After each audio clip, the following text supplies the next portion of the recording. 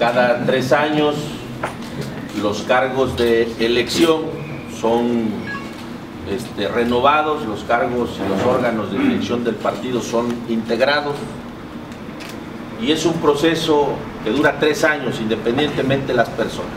Tendremos que renovar la dirigencia y los órganos directivos. Por eso cada, cada tres años se hace un Congreso Nacional.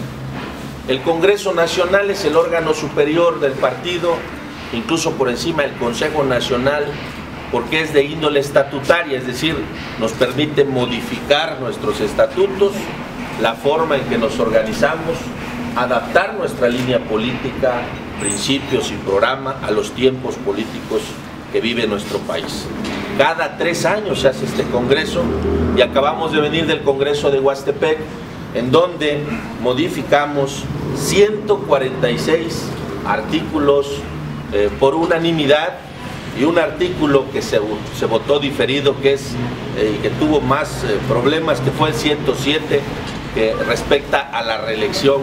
También importante decir que cambian y se eliminan algunos, este, algunos elementos organizativos como son los comités de base que desaparecen, los congresos estatales, solamente va a haber consejos estatales, la Comisión Política Nacional, que son órganos que prevalecían dentro del partido. En este sentido también decirles que se da de una u otra forma el inicio de una nueva etapa.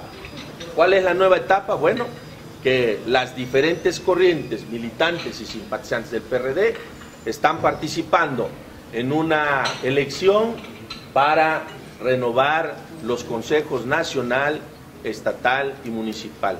Y serán los consejos eh, eh, mediante voto directo este, que se elijan y se instalen el próximo año. Y esos consejos votarán ya de manera indirecta, este, ya no lo harán los militantes y simpatizantes, sino los consejos, quienes elegirán al nuevo presidente estatal, presidente nacional y presidente municipal de los comités ejecutivos respectivos.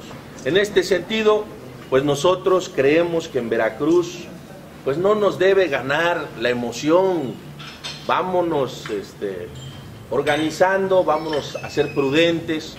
Nosotros estamos en la idea de que eh, no podemos seguir en la misma ruta que traíamos como costumbre el PRD. Hoy le permitimos a ciudadanos